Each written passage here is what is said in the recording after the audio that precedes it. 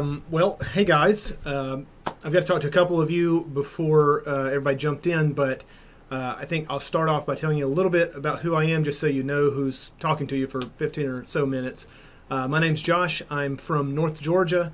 I have been uh, within this movement uh, as a pastor teacher for uh, about 11 years now. Um, I graduated with my bachelor's in theology and apologetics with concentrations in Greek and Hebrew years ago in 2014. Yeah, 2014. Uh, I've been serving at various churches since then, and uh, I write a lot and I do a lot of videos. And uh, I was blessed with the option to come in here and get to teach on uh, one of these topics tonight. Uh, I've chosen uh, identity as what I'd like to teach on tonight, and um, so I think the way that we need to start though is defining that term because whenever I just say identity, uh, it, it's kind of vague. It's kind of like, well, like do we do we interpret identity as as what people in the 21st century um, with the more with the more extreme views who are saying, well, I can I can just simply identify as whatever I want, and there's no there's no right, wrong, or rules for me kind of thing.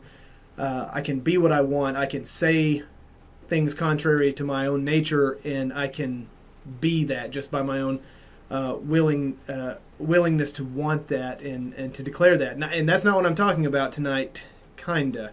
Uh, what I would like to mean by identity is um, what believers are, like our identities. Um, and, and we're going to look at like what believers were prior to being believers, uh, and and what we are now, and how that transition happens, and what are the implications of that transition uh, I like to use the word Christian. I know that's sometimes a word that some people still doesn't doesn't like to use. Um, whether you you say messianic or, or Christian or uh, those of the way or whatever your particular uh, preference is, uh, uh, what I mean by believers, Christians, is those of us who pledge allegiance to the God of the universe, Yahweh, and uh, through and belief in the Son, Yeshua, Jesus Christ, uh, above all else. So your typical Orthodox New Testament believers uh, is what I mean by that, and the identity of New Testament Orthodox believers. Um, the term defined uh, officially by Merriam-Webster's for how I'd like to discuss tonight is uh, the condition of being the same with something described or asserted. So, in other words, uh, being being like currently a status of being that is the same as something else already already explained and already described and uh, and, and defined. So I want to talk about what we are defined as, what it is that makes us who we are, and I believe the the most concise definition of a believer is a child of God. And we're going to look biblically at what that means and how we became that and where we came from that. Um, I'd like to go to a classic uh, what I think um, is the greatest identifier for believers in the New Testament, which is Ephesians 2, verses 1 through 10. Uh, so if you if you want to read along with me, then um, give you a second to, uh, to flip there or to scroll there or to tap there, whatever uh, you're using. Uh, I'm going to be reading from the ESV. That's my preferred English translation. Uh, also, it is storming pretty bad down here in the south, so if my power goes out, I'm sorry. I'll get back on as soon as I can. I'll just I'll just phone in with my cell phone, I guess. Uh, so let's look at Ephesians 2 1 through 10. I'm going to read this and then we're going to break down piece by piece and kind of go through this uh, and show this transition. Uh, Ephesians 2, let's start uh, in verse 2. Sorry, we don't even have to do verse 1. Uh, verse 2 And you were dead in trespasses and sins in which you once, in which you once walked, following the course of this world, following the prince of the power of the air, the spirit that is now at work in the sons of disobedience among whom we all once lived in the passions of our flesh, carrying out the desires of the body and the mind, and were by nature children of wrath, like the rest of mankind. But God, being rich in mercy, because of the great love with which He loved us, even when we were dead in our trespasses, made us alive together with Christ. By grace you have been saved, and raised us up with Him, and seated us with Him in the heavenly places in Christ Jesus so that in the coming ages he might show the immeasurable riches of his grace and kindness towards us in Christ Jesus. For by grace you have been saved through faith. And this is not of your own doing, it is the gift of God, not a result of works, so that no man may boast. For we are all his workmanship, created in Christ Jesus for good works, which God prepared beforehand that we should walk in them. Uh, so this is, like I said, I think this is the the classic text for identity. Paul, there's, Paul, there's a lot here, and if you've and if you've been in this movement long enough, you know Paul is Paul is that guy that's like it's he's misunderstood by a lot. He's uh, he's very intelligent, and he he likes to say pretty much everything in one long sentence. This is not very few, very many sentences in Greek itself, actually. So he just kind of goes on and on and builds this builds this picture of what we as believers are, uh, as children of God. Um, he begins though by explaining not what we are, but what we were. So if we look, according to this scripture, the condition, the natural condition of man and mankind prior to the conversion, the new man moment, is that he is dead. The man is dead, not wounded, not limping along, not just kind of crawling, but dead. Absolutely dead. Uh, and this is in verse 2 in which you once walked, went, I can never say that apparently, in which you once walked, following the course of the world, following the prince of the power of the air. You were dead in the trespass and sin, and that's what you were doing. Um, so our precondition our pre identity is a dead man, dead man walking along the earth, doing what he or she wants to do according to the flesh and the body. okay? Uh, by because of that, we were children of wrath. Uh, carrying out the passions of our flesh means that we're going to be wrathful. Humans have this natural desire for their own good. We look we look at we're, we're selfish naturally, uh, and, and and we will commit wrathful deeds and wrathful actions because of that. So, by nature, as dead men, apart from the living God, we are wrathful. We, we look out for our own self. We're not selfless, we're selfish. Okay? Uh, so, it's self centered, looking out for ourselves. And this is the natural identity of man. And according to Scripture, again, we are, and I'm going to sound like a broken record, we are dead. There is no chance for the dead man on his own. He is, he is dead in his sin. There's it's just it's a it's a done deal. He is dead. But but even though that's our precondition and what we were prior to the conversion, God himself initiates and completes that conversion. In verse 4, we see, uh, uh, by the way, this is my one of my favorite chapters of all, of all the Bible is Ephesians 2, right behind John 6, which is what we're going to look at in a minute. But uh, that one moment, like right at the end of verse three, when Paul lays out all this like terribly like depressing stuff, he's like, "We're dead in our trespasses. We're by nature children of wrath. We're self-centered, doing everything according to our flesh uh, and our own desires." And then he uses the conjunction "Alla theos," but God. So in verse four, but God. So all of this, but God, rich in His mercy, because of the great love He has for us even when we were dead in our trespasses, has made us alive together with Christ. So the condition of man changes in this moment because of God's response to man's condition.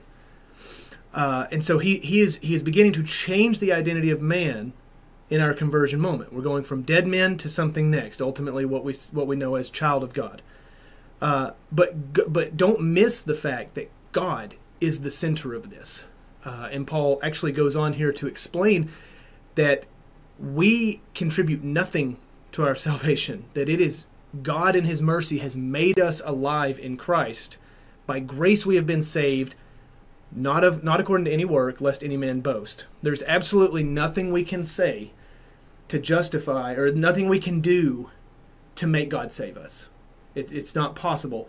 According to Scripture, according to the testimony of Scripture, we were dead and God makes us alive. He changes our identity. We like to say in, in the pronomian, the messianic communities, uh, that we get the new heart, that God writes His law on our hearts because He's giving us a new heart. He changes our identity from children of wrath to children of God. Um, and so, so Paul is using this. Paul is conveying the ideas here that, of the conversion moment, uh, and his source material is surely the apostles, the the heads of the church who come before him, Peter, James, John. Uh, and so I'd like to look at one of their sources, like uh, uh, John 6 specifically, of where Paul's pulling this idea, because Paul just asserts it. But God has done this apart from any work you can commit, lest any man should boast. Now I want to go back to actually when Jesus was talking about the conversion process in John 6 so that you can see what Paul has in mind and we can see the full testimony of Scripture of the conversion itself. Um, so this is accomplished uh, pretty pretty short in in two or three verses in John 6. We're going to look at verses 43 and 44. So uh, I'll give you a second to turn there. Um, to set the, the context for this section of, of John 6, uh, there's a discourse happening between Jesus and a crowd uh, just outside the Sea of Galilee. He is actually, right before this in John 5, he, uh, he performs the miracle of walking on water. Peter walks out on water with him, ends up, you know, losing his faith for a second and going down to the water. Um, and then the people are approaching Jesus and talking to him and like questioning, like, how who are you, etc. And he actually says, I'm the bread that comes down from heaven. Uh, and they're like, how is he the bread that comes down from heaven? We know his mom and dad. Okay, so that's the setting of right before he says what I'm what I'm going to read for you here. Uh, he is dealing with people who do not understand him, do not know him, are mesmerized by him, but don't know him as the true Son of God, Savior of the world, Messiah, uh, righteous King of Israel. So in verse 43, John 6 43, it says this uh, And Jesus answered them, do not grumble amongst yourselves. No man can come to me unless the Father who sent me draws him, and I will raise him up on the last day. So this is this is the conversion moment. Uh, when we when we come to Jesus, when we when we decide and we have faith and we believe in the atoning, sacrificial death, burial, resurrection, blood of Christ Himself, that's when we're that's when we're changed. We we are imputed with Christ's righteousness in that moment, and and he takes our place in in God's uh, in God's condemnation and judgment. Uh, and God looks upon him, and we know this. This is elementary Christian doctrine, it's, uh, it's Orthodox belief, but but this is the moment. But what has to happen is is we have to come to that because He is the only way to God. He is the only way that we can have this new identity from child of wrath, which everybody has been, and a lot of people today still are. The only way to come from child of wrath to child of God is through the Son. But how does one come to the Son? He says in verse 44, "No one can come to me unless the Father draws him." So I'd like to I'd like to actually like hone in for just a second on on that last uh, clause. Uh, the the words of the Lord Jesus says that we cannot come to God unless God draws him. Okay, now the word draw, uh, for the sake of time, I'm going to paint this in broad strokes. Um, the the word draw is more accurately defined as like drag to physically pull something from somewhere else. It's not a coercion. It's not like you're sitting back and God's like, "Hey, you know, come on over here. It looks really nice. It's cool." He's not like coercing us to come to the son. He's dragging us to the son. And I'll give you a reason why that that is a more accurate definition. The word's used three other times in the New Testament uh, and throughout uh, Koine Greek literature of the first century. Uh, Acts 16:19, the word uh, uh, elkuo, by the way, is the Greek word elkuo, uh, to drag, draw, or to pull.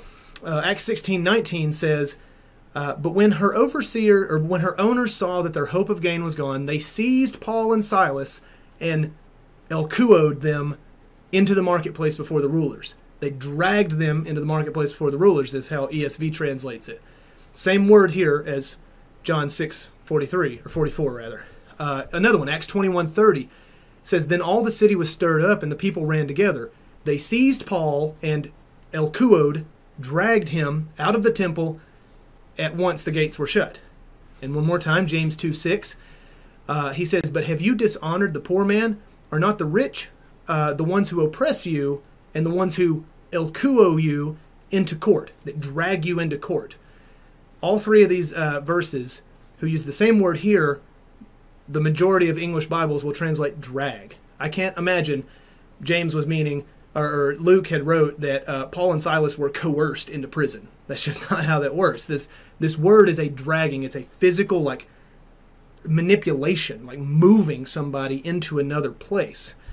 And so the, I think that the purpose of understanding that word is critical to the identity changing process because it verifies what Paul says in Ephesians 2 that it is not of any work that we can do, that God changes us. He drags us from our nature, our, our, our origin of being a child of wrath, and drags us into his household, pulls us in by the blood of Christ. uh, and it's not of anything that we can do. Our identity is not something that we can establish. We had no choice in the matter of how we were born. We were born as children of wrath. Uh, and we have no choice of how God has dragged us into his household. Through Christ, God has chosen and has saved us as, as his believers and continues to do so. The power of the gospel, or the gospel is the power of God save, as Paul says. And that's how God is changing our identities. No longer are we, whether we want to believe it or not, or verify it or not, no longer are we children of wrath. We have a new heart, a new purpose, a new divine calling, a new family, because God has God has brought us into that and changed our identity. We're no longer a slave to sin, a classic good song. I'm no longer a slave to sin. I'm a child of God, because this this process of our identity is is God alone. He is the one who is the author and finisher of our of our salvation, uh, apart uh, completely apart from any work that we could do. But I think that's important because that's that's the gospel.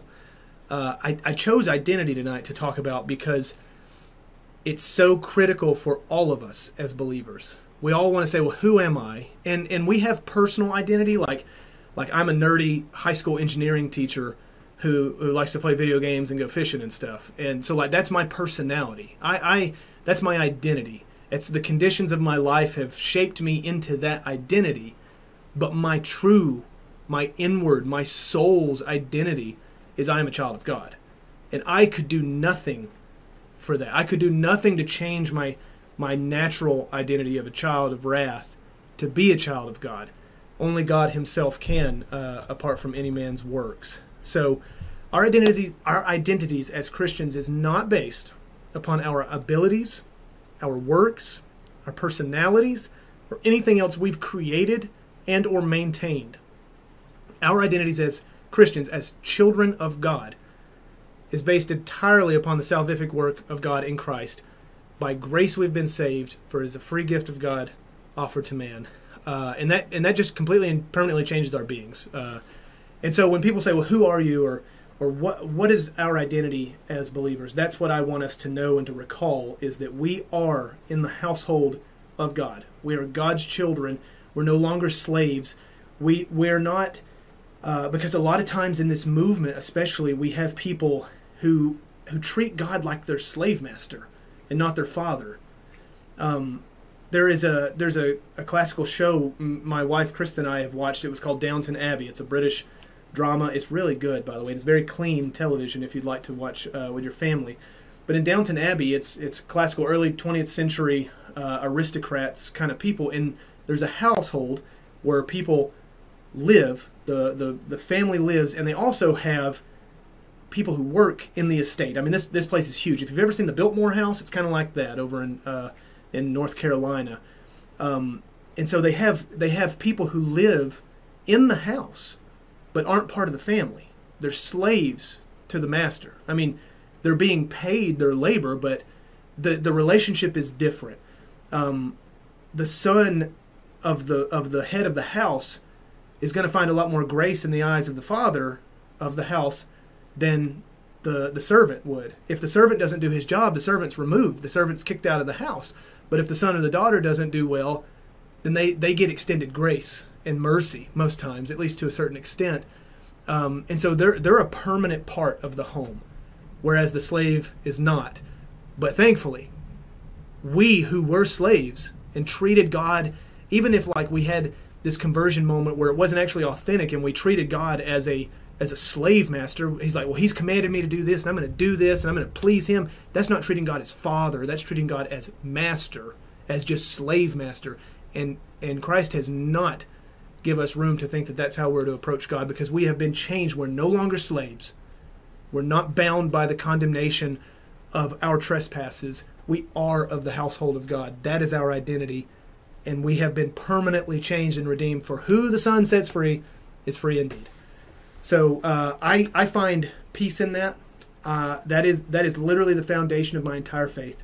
Is that God has given me a new identity as a believer, as a child of God, not as a slave who just lives in the house of God and does what the God wants, but as a son of the Most High living God. Uh, and I think that that is that is the overarching best way uh, to look at the, the testimony of Scripture from, from the words of Jesus to the words of the apostles years later. This is how the early church understood it, and I and I think that we need to preserve that understanding and, and continue with that and uh, and share the gospel with that as the center of it. Because when we share the gospel, our goal is to change the identity, or to have God rather change the identity of those who are children of wrath, of which, as Paul said, we once walked. So, I hope that was uh, concise. I don't exactly know how long I've taken to, to talk about that. Usually I'm super long winded, um, but I think uh, now would be a good time for some, some questions and some feedback.